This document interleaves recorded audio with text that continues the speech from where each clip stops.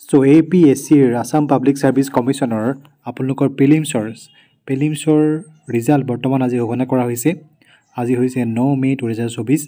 আজি ঘোষণা কৰিছে আপোনালোকৰ ৰিচেণ্টলি হৈ যোৱা A P S C C C ইৰ ৰিজাল্ট প্ৰিলিমিনাৰী এক্সামিনেশ্যনৰ গতিকে আপোনালোকে লিংকত গৈ এ পি এছ চিৰ ৱেবছাইটত গৈ A P S C dot N I C dot ইনত গৈ আপোনাৰ ৰিজাল্টটো চাই লওক।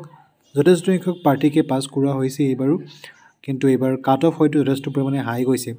কাৰণ কিছুমানে প্ৰুফ পাইছোঁ যে কাট অফ এইবাৰ যথেষ্ট পৰিমাণে হাই গৈছে। চ' কাট অফটো কি হ'ব? অলপ পিছত হয়তো আজিৰ ভিতৰতে হয়তো এ পি এছ চিয়ে জনাই দিব। দেখিবলৈ পাইছে ন মে' আজি ঘোষণা কৰা হৈছে কম্বাইন কম্পিটেটিভ প্ৰিলিমিনাৰী এক্সামিনেশ্যনৰ ৰিজাল্ট ইয়াত চিৰিয়েলি আপোনালোকে আপোনাৰ নাম্বাৰটো চাই ল'ব পাৰিব। আৰু আৰু মেইনছ যোনটো এক্সাম হয় আপোনালোকৰ যোনটো মেইনছৰ এক্সাম সেইটো অনুষ্ঠিত কৰিব জুলাই মাহত। আৰু জুলাই মাহত কি তাৰিখে অনুষ্ঠিত কৰিব সেইটোৰ বিষয়ে ন'টিছ খুব সোনকালে এ পি এছ চিৰ তৰফৰ পৰা আপোনালোকে পাব।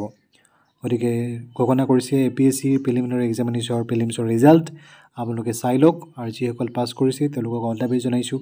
আৰু সময় যথেষ্ট কম আছে আপোনালোকৰ কাৰণে। আৰু এইবাৰ প্ৰস্তুত সংখ্যাও যথেষ্ট কম। মেইনছৰ ক্ষেত্ৰতো হয়তো যথেষ্ট পৰিমাণৰ কাট অফ যাব। চ' আপোনালোকে সকলোৱে যাতে প্ৰিপেৰেশ্যন কৰে যিহেতু জুলাইত এক্সাম হ'ব। গতিকে এইটোৱে আছিল আজিৰ ভিডিঅ' আপোনালোকে এ পি এছ চিৰ ৱেবছাইটত গৈ বা মোৰ ডিছক্ৰিপশ্যনত থকা লিংকত গৈ পি ডি এফটো ডাউনলোড কৰি লওক। প্ৰায় এইট এম বি মানৰ এটা পি ডি এফ হয়। তাত আপোনালোকে চাৰ্চ কৰি আপোনাৰ ৰোল নাম্বাৰটো চাই লওক।